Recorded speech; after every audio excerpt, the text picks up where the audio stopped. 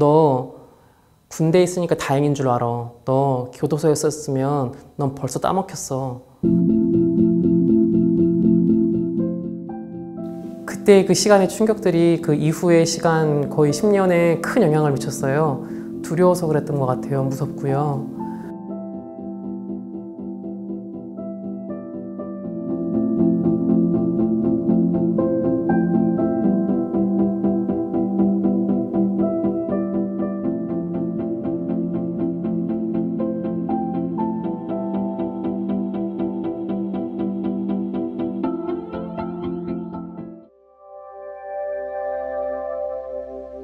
저는 2008년 3월에 입대했고요.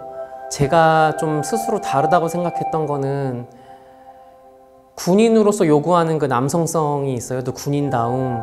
어느 순간부터 제가 뭐 여자 같다, 귀집애 같다 이렇게 호명되기 시작했거든요. 선임 병사들 지나가다가 엉덩이를 주무르기도 하고 뭐 가슴을 만지기도 하고 뒤에서 껴안기도 하고 뭐, 뭐 차렷해서 움직이지 마, 뭐 부동자세야 이러면서 귀에다가 귓볼에다가 이렇게 막 뜨거운 바람을 분다든지 이런 일들이 계속 이어졌어요. 또 제가 막 체중이 줄고 시름시름 자꾸 아프고 그러니까 부대를 관리하는 이 장교가 저한테 묻더라고요. 너 무슨 일 있냐고. 그래서 얘기했어요. 실은 제가 성소수자다. 그래서 누군가한테 뭐 그런 감정을 느껴서 그런 게 아니라 내가 성소수자라 보니까 누군가가 나를 막 만지거나 뭐 희롱하거나 이럴 때 혹시나 저 사람이 나에 대해서 알고서 저러는 건 아닐까 하는 두려움에 조금 휩싸인다. 다음 날 부대 사람들이 다 알더라고요. 일단 무언가 되게 큰 죄를 지은 게 들통난 느낌이었어요.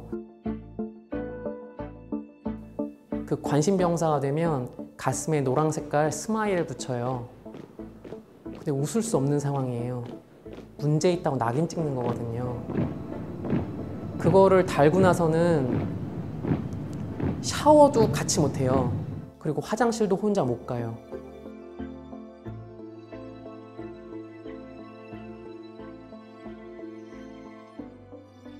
군 정신병원에서 116일을 있었어요. 그렇게 하루하루 새게 되더라고요. 아침 저녁으로 약을 먹이는데요. 온전히 내가 생각을 계속 유지하면서 그곳에서 시간들을 살아가기 좀 어렵게 만들더라고요. 그러니까 정말 그곳에 있다가는 미칠 것 같은 생각도 들고 괴로웠어요.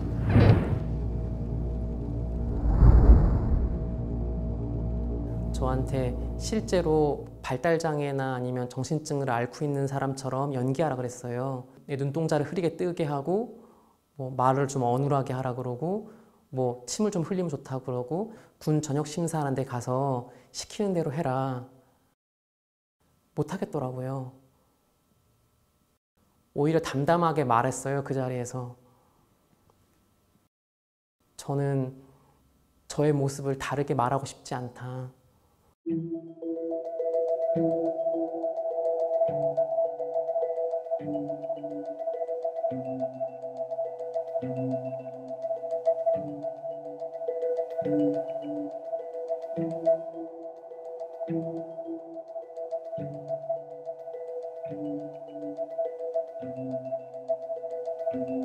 동성애 성향을 가지고 있는 사람은 차별하면 안 되는데 동성애 행위에 대해서 처벌한다.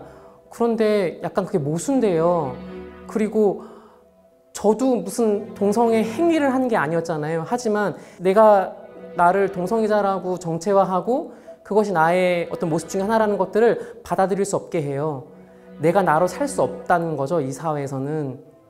제가 뭐 군대에 들어가자마자 성소수자인 걸 말할 생각도 없었고 증언을 들었던 사람들 다 참고 조용히 해서 나오지 가서 밝힌다?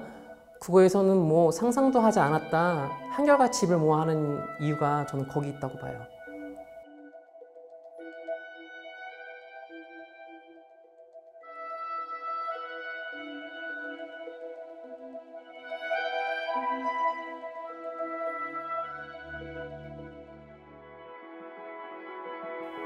제가 겪었던 성소수자 군인으로서의 아픔을 또 공유하는 다른 사람들을 찾아가는 여정은 어쩌면 저 자신의 회복이기도 했고요. 이게 나만 당한 일이 아니야, 나만 겪은 불행이 아니야 라고 생각하니까 가벼운 안도가 되기도 했지만 그보다 또 사회가 함께 경험하는 짙은 슬픔이라는 것 때문에 더 마음이 많이 무거웠고요.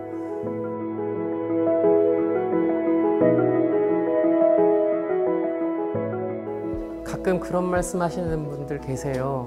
저를 만나고 제가 아 저는 성소수자입니다 라고 말씀드리면 어나 실제로 성소수자 처음 봐 제가 누군가에게 생애 처음으로 만나서 대화 나누고 인격적인 관계를 나누는 첫 성소수자일 때가 있어요 과연 그럴까요?